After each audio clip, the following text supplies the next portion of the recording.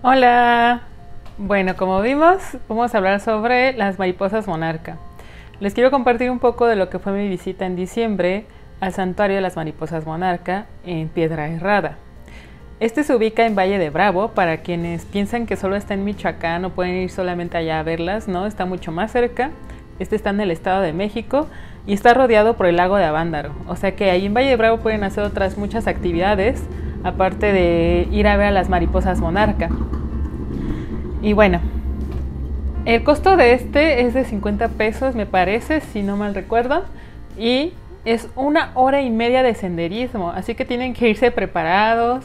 Eh, si les hace mucho daño el sol, ir con bloqueador, ya que los horarios son de 9 a 4 cuando estas son las que se presentan en la cima del santuario o del bosque, por decirlo así, ya que les disfrutan mucho el calor. Entonces se tienen que ir bien preparados, comer bien, pues sí está algo cansado subir hasta allá, pero la verdad es que vale la pena de una manera tanto como espiritual y tranquila, porque no puedes hacer mucho ruido porque las inquietas. Entonces es algo como mucha paz lo que te da cuando estás ahí arriba y algo que realmente recomiendo para quienes gusten de viajar, de desestresarse, descontaminarse un poco de todo y estar con la naturaleza. Así que se los recomiendo mucho. También eh, quiero decirles que esta sucede más que nada durante noviembre y marzo, es cuando se da aquí en México que es cuando se presentan las mariposas. Y bueno, mm, les quiero hablar también un poquito sobre ellas y les voy a pasar por lo mientras unas imágenes sobre mi viaje que hice allá. ¿Ok? Sin más, demos paso. Las mariposas monarcas son conocidas por la increíble migración masiva que cada invierno lleva millones de ejemplares a California y México. La monarca norteamericana es la única mariposa que realiza una travesía tan espectacular con una distancia cercana a los 5.000 kilómetros. Estos insectos deben partir cada otoño antes de que llegue el frío, que acabar con ellos si se demoran demasiado. Las mariposas monarca nacen en huevos, de los que eclosionan en forma de larva.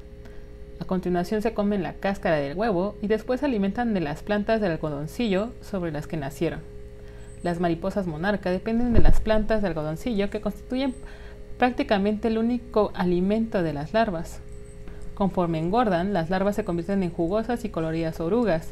Después crean una dura bolsa protectora que las rodea conforme entran en la fase de crisálida. De ahí emergen en forma de adultos bellamente coloreados en negro, naranja y blanco. El colorido patrón de la mariposa monarca hace que sean fáciles de identificar y precisamente de eso se trata su característico patrón que avisa a los depredadores de que estos insectos son venenosos y saben fatal. Las mariposas que emergen de las crisálidas a finales de verano y principios de otoño son diferentes de lo que lo hacen a los más cálidos y largos días de verano. Estas mariposas monarca nacen para volar y saben por el cambio en el clima que deben prepararse para su prolongada travesía. Y bueno, todo esto que les estoy compartiendo fue de un artículo del National Geographic y también cabe señalar que se pueden diferenciar a la hembra y macho dependiendo de su tamaño. Casi siempre las más vistosas son los machos, ya que ellos son los que quieren luego llamar la atención de las hembras y son los que tienen los colores más vistosos. Esto fue lo que nos dijeron en nuestra travesía al santuario de las mariposas.